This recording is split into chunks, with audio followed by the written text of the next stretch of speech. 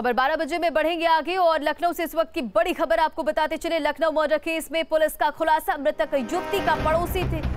आरोपी निकला है, ये जानकारी पुलिस के द्वारा दी गई है। सूफियान नाम के युवक ने घटना को अंजाम दिया था और पुलिस की पाँच टीमें इस पूरे मामले को लेकर जाँच कर रही है। और आरोपियों की तलाश में जुटी हुई है डेढ़ साल से युवती से करना चाहता था दोस्ती। पुलिस का यह बयान सामने आया है। युवती को आरोपी सूफियान ने दिया था मोबाइल। तो आपको बताते चले इस पूरे मामले को लेकर। पुलिस एक्शन में है और बड़ी खबर इस वक्त की लखनऊ से। लखनऊ मर्डर केस में पुलिस का यह बड़ा खुलासा। मृतक युवती का पड़ोसी था आरोपी। सुफियान नाम के युवक ने इस पूरे वारदात को अंजाम दिया है। फ़िलहाल इस पूरे मामले को लेकर पुलिस ने पाँच टीमों का गठन कर दिया है और आरोपी की तलाश की जा रही है। आपको बताते चले सुफियान समेत पूरा परिवार इस वक्त फरार है। कहा कि माँ जो कि वादिनी है, उनके द्वारा दी गई लिखित तहरीर के आधार पर थाने पर मुकदमा अपराध संख्या दो सौ इकतीस बटा दो हज़ार बाईस, अंतर्गत धारा 302 आईपीसी व तीन बटा पाँच, उत्तर प्रदेश धर्म संपरिवर्तन प्रतिषेध अधिनियम, बनाम सूफियान, पुत्र मोहम्मद राजू, निवासी बसंत कुंज कॉलोनी, थाना दुबग्गा, लखनऊ पंजीकृत किया गया है। आरोपी गिरफ्त की गिरफ्तारी हेतु हमारी टीमें पाँच टीमें गठित कर दी गई हैं। और देख अपडेट के साथ संवाददाता अविनाश हमारे साथ जुड़ के सीधा उनका रुख करेंगे। अविनाश, देखिए, पुलिस ने पाँच टीमों का गठन कर दिया। कैसे कार्रवाई की जा रही है पुलिस की तरफ़ से?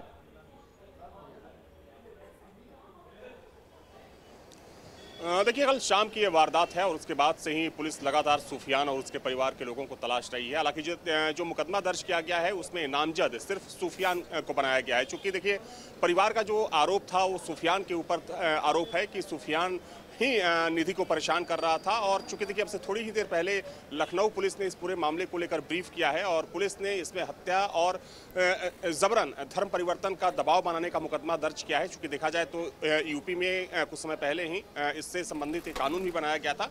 तो उन्हीं धाराओं के अंतर्गत अब सुफियान के खिलाफ मुकदमा दर्ज कर पुलिस सुफियान को तलाश रही है और इसके लिए पुलिस की पाँच टीमें गठित की गई लेकिन देखिए, सबसे महत्वपूर्ण बात यह है कि जिस तरीके से परिवार का साफ़ तौर पर आरोप सुफियान के ऊपर है कि सुफियान जबरन शादी का दबाव दबाव बना रहा था और पिछले काफ़ी समय से उसे निधि को परेशान कर रहा था और ना सिर्फ़ शादी का दबाव बना रहा था, बल्कि वो ये भी बोल रहा था कि पहले तुम अपना धर्म परिवर्तन करो और उसके बाद हम दोनों शादी करेंगे। देखिए, इसमें एक महत्वपूर्ण और गंभीर आरोप सुफियान के परिवार के ऊपर भी है, क्योंकि पीड़ित परिवार का ये आरोप है कि कल शाम में जब पीड़ित परिवार आरोपी के परिवार के पास शिकायत लेकर पहुँचा तो आरोपी के परिवार ने भी वही बात दोहराई जो सुफियान पिछले काफ़ी समय से दोहरा रहा था कि आपको अपना धर्म परिवर्तन करना पड़ेगा अपनी बेटी का और उसके बाद जो निकाह की प्रक्रिया है वो पूरी की जाएगी। तो पीड़ित परिवार का रंजना आरोप काफ़ी गंभीर है। हालाँकि उन आरोपों के आधार पर ही पुलिस के पास जो जो तहरीर आई थी पीड़ित परिवार की उस तहरीर के आधार पर मुकदमा दर्ज कर लिया गया है कई गंभीर धाराओं में। और अब पुलिस सुफियान को तलाश रही है और जिसके लिए पाँच टीमों का पुलिस ने गठन भी कर लिया है।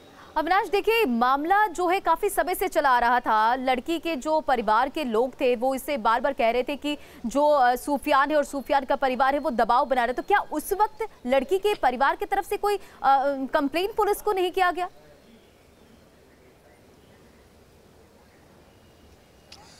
नहीं अंजना देखिए इससे पहले पुलिस में कोई कंप्लेन नहीं दर्ज कराई गई थी। हालाँकि जो आसपास के लोग थे उनसे मेरी बातचीत हुई। तो उन लोगों ने भी कहा कि कुछ दिन पहले भी दोनों परिवारों में विवाद हुआ था और हालाँकि तब जो आसपास के लोग थे उन्होंने ही माम, मामले को शांत कराया था। लेकिन पुलिस में इससे पहले पीड़ित परिवार की तरफ़ कोई की तरफ़ से कोई शिकायत दर्ज नहीं कराई गई थी। लेकिन देखिए पुलिस की जो अभी तक की विवेचना रही है छानबीन रही है उसमें पुलिस ने साफ़ तौर पर कहा कि पिछले डेढ़ सालों से सूफियान निधि से दोस्ती करना चाहता था और जैसा कि परिवार का आरोप है कि कि सुफियान परेशान कर रहा था। हालाँकि देखिए पुलिस ने आ, आ, का जो बयान आया है ज्वाइंट सीपी पीयूष मोडिया का उसमें कहना है कि कुछ दिन पहले ही सुफियान ने उस लड़की को एक मोबाइल भी दिया था और उसी बात की जब जानकारी पीड़ित परिवार को लगी, यानी कि निधि के घर वालों को लगी तो वे उसकी शिकायत लेकर सुफियान की माता पिता के पास गए थे, लेकिन तब बात और बिगड़ गई और चूँकि जो लड़की थी निधि वो ऊपर छत पर चली गई और पीछे दौड़ता हुआ सुफियान गया।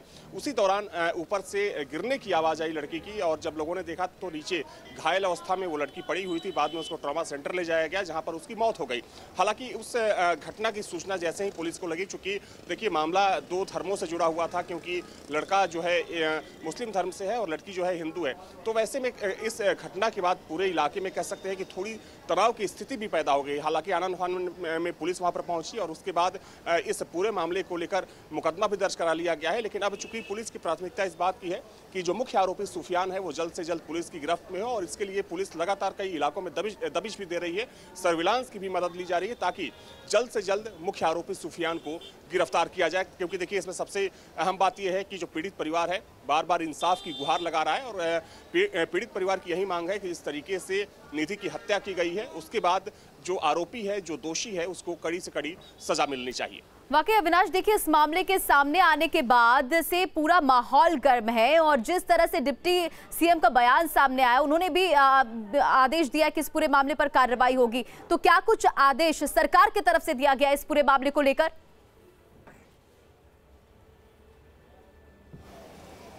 देखिए सरकार के संज्ञान में जैसे ही ये मामला आया आ, वैसे ही सरकार की तरफ़ से शासन स्तर पर निर्देशित किया गया लखनऊ पुलिस को कि जल्द से जल्द इस मामले में जो भी आरोपी हैं जो भी दोषी हैं उनकी सबसे पहले गिरफ्तारी होनी चाहिए क्योंकि पीड़ित परिवार का जो आरोप है संगीन है। और देखिए रंजना एक बात बहुत ही महत्वपूर्ण है क्योंकि ऐसे जो मामले हैं पूरे उत्तर प्रदेश में हालाँकि अब ऐसे मामलों में कमी ज़रूर आई है। लेकिन पहले ऐसे बहुत मामले देखे जाते थे कि जब कोई विशेष समुदाय का जो लड़का होता था वो किसी लड़की से शादी करता था, बाद में जबरन धर्म परिवर्तन का दबाव बनाया जाता था और शायद यही वजह रही कि कुछ साल पहले योगी सरकार ने उत्तर प्रदेश में एक ऐसा कड़ा कानून बनाया जिसके ज़रिए ऐसी घटनाओं पर लगाम लगाने की, अंकुश लगाने की कोशिश की गई।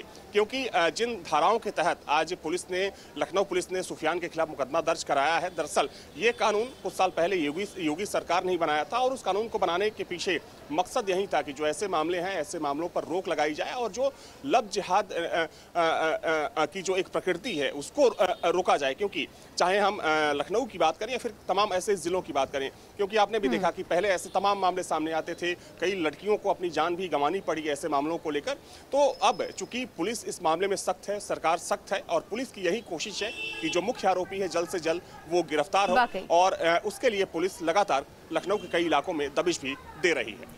चलिए अविनाश इन तमाम जानकारियों के लिए बहुत बहुत शुक्रिया। आप नज़र बनाए रखे। तो देखिए, इस पूरे मामले को लेकर लगातार कार्रवाई की जा रही है और अब पाँच टीमें गठित कर दी गई है, जो कि अब इस पूरे मामले को देख रही है और आरोपियों की तलाश में जुटी हुई है।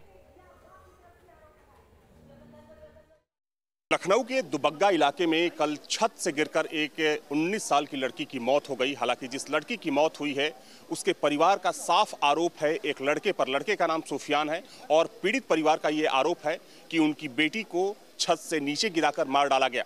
आप घटनास्थल की तस्वीर देख सकते हैं कि ये दुबग्गा का डूडा कॉलोनी है और यहीं पर ये पूरी वारदात घटित हुई है। हालाँकि इस घटना के बाद से सुफियान और सुफियान का पूरा परिवार फरार है, जो घर है, घर में ताला लगा हुआ है। हालाँकि इसमें महत्वपूर्ण बात यह है कि जो मृतका का परिवार है, वो सीधे तौर पर ये आरोप लगा रहा है कि पिछले पंद्रह दिनों से उसकी बेटी को सुफियान नाम का ये लड़का परेशान कर रहा था।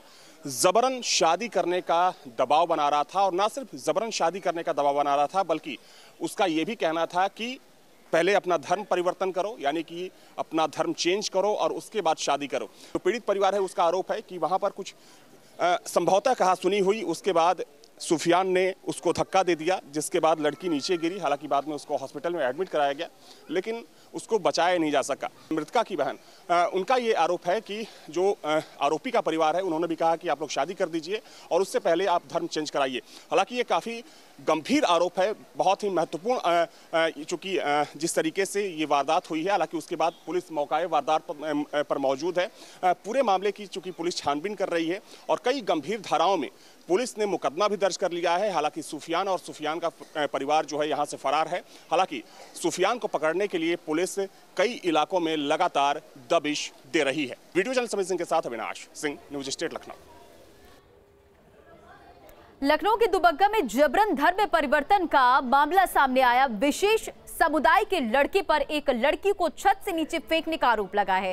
छत से गिरने के बाद लड़की की मौत हो गई। पीड़ित परिवार ने लड़के पर आरोप लगाया है कि वो जबरन धर्म परिवर्तन कर शादी कराना चाहता था। घटना के बाद आरोपी सूफियान परिवार सहित फरार हो गया है। इस मामले में यूपी के डिप्टी सीएम ब्रजेश पाठक ने कहा कि प्रदेश में ऐसी हरकतों को बर्दाश्त नहीं किया जाएगा। ऐसी कार्रवाई की जाएगी कि पुश्ते याद रखेंगी। इसमें कड़ी कार्रवाई होगी और इस प्रकार के सभी लोगों को चिन्हित करने के लिए पुलिस प्रशासन से कहा गया है कि सभी अपने पुलिस इंस्पेक्टर से जो बीट के इंचार्ज हैं, बीट के सिपाही हैं, उनसे जानकारी करें। किसी भी कीमत पर ऐसी हरकतों को हम यूपी में बर्दाश्त नहीं करेंगे। हम कड़ी कार्रवाई करेंगे और ऐसी कार्रवाई करेंगे कि उनकी पुस्तें भी याद करेंगे।